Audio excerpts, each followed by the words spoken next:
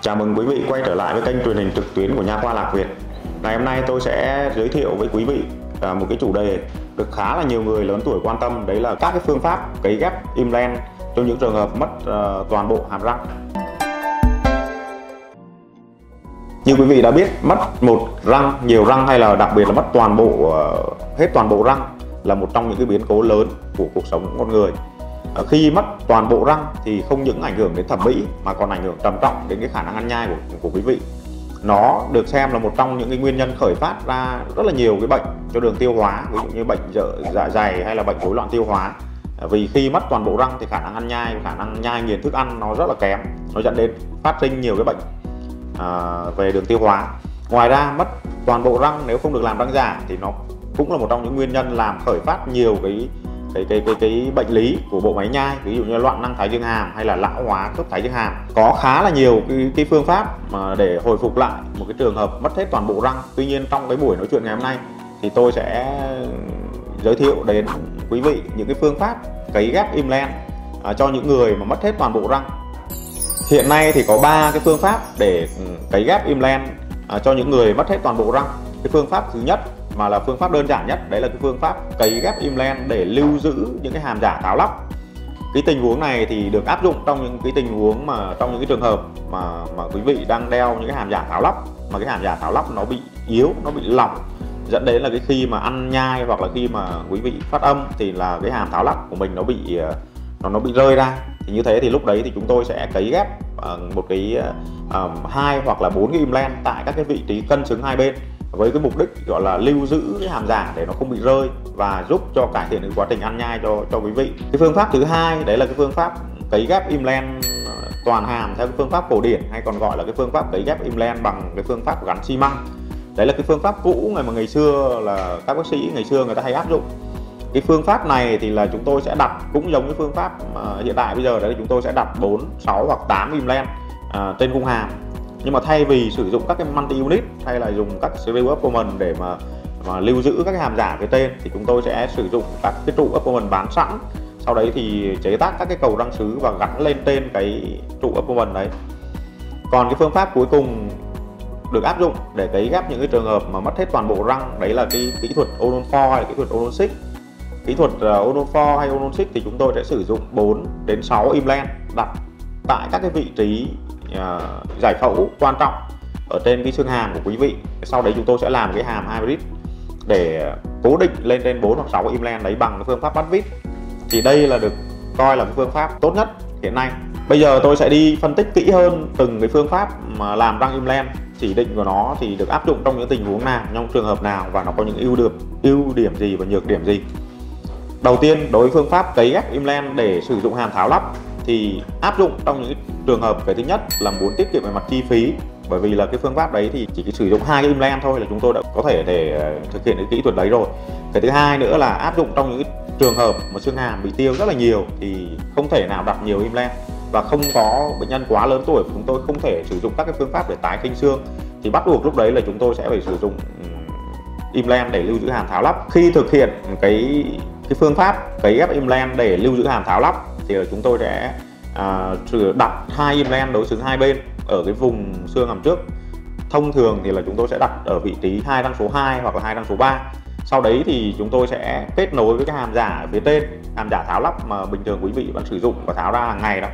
Thì chúng tôi sẽ kết nối cái hàm giả ở phía trên với cả một cái với hai cái implant ở phía dưới thông qua một cái thành phần là bi hoặc là khớp khớp nối. Đối với phương pháp cấy ghép implant để mà lưu giữ hàm tháo lắp thì nó có những cái ưu điểm. Cái thứ nhất, đấy là nó tiết kiệm được chi phí, bởi vì sao? Chúng tôi chỉ cần đặt hai cái implant thôi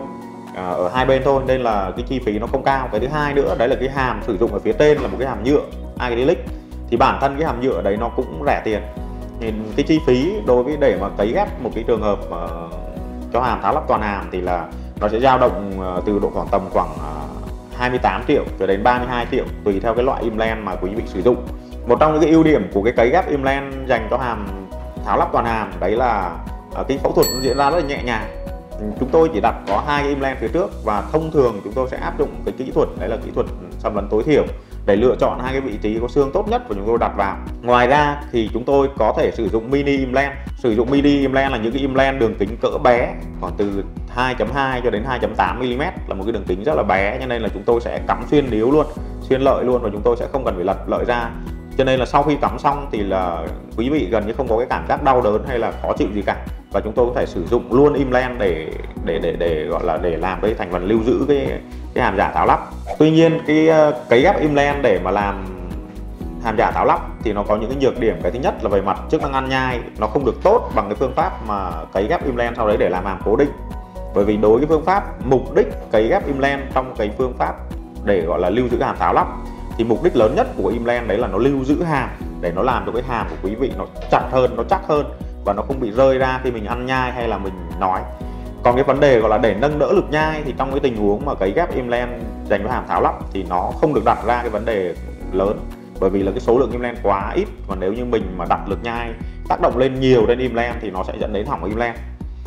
một trong những cái nhược điểm nữa của cái hàm tháo ra lắp vào mà sử dụng implant để lưu giữ, đấy là mặc dù mình đặt implant nhưng mà mình vẫn phải sử dụng hàm tháo lắp nghĩa là mình vẫn phải mang những cái nhược điểm của hàm tháo lắp đấy là mình phải tháo ra lắp vào hàng ngày này, để là ăn uống nó không được 100% lực nhai giống như các cái phương pháp cấy ghép implant cố định. Cái kỹ thuật thứ hai tôi muốn giới thiệu đến ờ, quý vị đấy là cái kỹ thuật gọi là cấy ghép implant để à, gắn xi măng à, gọi là kỹ thuật trồng răng implant bằng phương pháp cổ điển. Đấy là gì? Cái phương pháp đấy nó thực hiện như thế nào? Cái là khi mà bệnh nhân đến với chúng tôi trong cái trạng thái mất hết toàn bộ răng mất toàn hàm thì chúng tôi sẽ sẽ sẽ sẽ tùy theo cái độ rộng của cung răng. Là độ rộng cung răng hẹp hay là độ rộng cung cung răng rộng thì chúng tôi sẽ à, cắm. Thông thường là 6 hoặc 8 cái implant tại các cái vị trí đối xứng nhau qua đường giữa sau đấy từ 6 cái đến 8 cái implant đấy chúng tôi sẽ sử dụng làm cái cầu răng sứ. Và chúng tôi sẽ gắn lên trên các cái trụ abdomen gọi là các cái trụ trụ phục hình của cái implant à, mà chúng tôi cắm vào cái phương pháp này thì nó có cái ưu điểm đấy là về mặt mà ăn nhai thì là nó cũng là một trong những cái phương pháp để mà hồi phục lại cho quý vị. Gọi là cái hiệu suất ăn nhai rất là tốt nó gần như là răng thật của mình. Cái thứ hai nữa là về mặt ừ, chi phí về mặt tài chính thì nó sẽ nó sẽ gọi là nó sẽ rẻ hơn một chút so với kỹ thuật à, mới. Đấy là kỹ thuật Donald Ford tuy nhiên là nó đắt hơn so với kỹ thuật gọi là trồng răng implant à, dành cho hàm tháo lắp. Tuy nhiên cái phương pháp này thì nó có khá là nhiều nhược điểm dẫn đến là hiện nay ở chúng tôi chúng tôi thông thường chúng tôi ít sử dụng cái phương pháp này. Đấy là cái thứ nhất, đấy là cái số lượng implant phải đặt, thường là nhiều hơn kỹ thuật Onford Onosic lý do mà chúng tôi phải sử dụng nhiều implant hơn, đấy là cái cầu răng sứ đây nó không được vững và chúng tôi bắt buộc chúng tôi sẽ phải phải phải phải đặt nhiều số lượng implant số lượng implant nhiều hơn để nó có nhiều chân cầu hơn à, một trong những cái nhược điểm lớn nhất của cái kỹ thuật trồng răng implant sau đấy để phục hình bằng gắn xi măng đấy là gì? Đấy là cái khả năng xử lý những cái cái, cái biến cố mà sau này. Ví dụ như là quý vị trồng một cái implant một cái hàm implant toàn hàm như thế ở cái độ tuổi 60 hoặc là 50 hoặc 60 chẳng hạn thì cái cầu implant cái răng implant đấy là mình sẽ phải sử dụng trong vòng từ 20 đến 30 năm. Và sau này nó có những cái sự cố xảy ra thì cái kỹ thuật gắn xi măng nó rất là khó xử lý. Lý do vì sao? Bởi vì là khi mà chúng tôi đã gắn chặt nó vào thì chúng tôi sẽ không thể tháo được ra khi mà chúng tôi tháo ra thì bắt buộc chúng tôi sẽ phải cắt và chúng tôi phải phá bỏ toàn bộ cái cầu răng sứ phía trên đi, thì nó mới, nó, thì chúng tôi mới có thể lấy được ra, nghĩa là làm mới toàn bộ. Như thế thì nếu chả may trong cái quá trình sử dụng mà nó bị vỡ răng sứ hoặc là nó bị viêm implant chẳng hạn, thì lúc đấy chúng tôi sẽ bắt buộc chúng tôi phải phá toàn bộ đi thì chúng tôi mới lấy được ra. Mà cái điều mà khi mà quý vị làm một cái cầu implant toàn hàm như thế thì cái việc mà vỡ sứ hoặc là việc có một cái khó khăn phát sinh gì đấy trong vấn đề ăn nhai trong trong hai, ba 20 năm 30 năm thậm chí là 40 năm cuộc đời của quý vị là chắc chắn nó sẽ có xảy ra. Và cái cái, cái nhược điểm của cái cái, cái cái cái cái cái kỹ thuật cũ này đấy là khi mà nó xảy ra thì sẽ rất là khó xử lý. Một trong những cái nhược điểm của cái phương pháp gọi là trồng răng implant toàn hàm bằng phương pháp gắn xi măng đấy là gì? Đấy là cái cái khả năng phân phối lực nhai lên trên các cái trụ implant nó sẽ hơi kém. À, như quý vị đã biết ấy, thì cái xi măng mà chúng tôi gắn vào nó sẽ có một cái quá trình lão hóa hoặc là nó có gọi là phân rã cục bộ khi quý vị sử dụng ví dụ như là được 5 năm 7 năm hoặc là 10 năm sau, thì cái khi khi đấy ví dụ như chúng tôi cắm 8 cái trụ implant này hạn thì nó sẽ bị rã xi măng ở một vài trụ, ví dụ như hai trụ, ba trụ hoặc bốn trụ. Thì lúc đấy nó sẽ lực nhai ở tại những cái trụ mà bị rã xi măng ra thì nó sẽ không còn, không không gọi là nó không còn gánh được cái lực nhai nữa và lực nhai nó sẽ dồn lên những cái implant khác. Từ đấy nó dẫn đến quá tải lực nhai trên các cái implant khác và nó làm hỏng những cái implant đấy đi. Tóm lại là cái hàm, đối với những cái hàm mà hàm bằng cái kỹ thuật cũ ngày xưa gọi là làm toàn hàm bằng kỹ thuật cũ phương pháp gắn xi măng thì nó có khá là nhiều rủi ro. Thông thường nó sẽ chỉ thuận lợi trong vòng độ tuổi tầm một năm đến 7 năm sau đấy nó sẽ phát sinh nhiều vấn đề. Do đấy hiện tại ở tại nha khoa lạc việt ngày hôm nay thì tôi chỉ giới thiệu với quý vị để quý vị biết. Còn ở tại nha khoa nha khoa lạc việt thì chúng tôi gần như chúng tôi không còn áp dụng phương pháp này nữa. Một cái phương pháp cuối cùng đấy là phương pháp à, trồng răng implant à, mới nhất hiện nay đối với những trường hợp mà mất răng toàn hàm đấy là kỹ thuật cấy ghép implant odon 4 hoặc là kỹ thuật odon 6 à, cái kỹ thuật này thì là chúng tôi sẽ thực hiện bằng cách đấy là chúng tôi chỉ đặt ở ờ, 4 hoặc là 6 cái implant à, tại các cái vị trí giải phẫu quan trọng ở trên cung hàm. Sau đấy từ 4 đến 6 cái implant này thì chúng tôi sẽ tiến hành à, chúng tôi sẽ sử dụng một cái hàm gọi là hàm line để bắt vít lên trên cái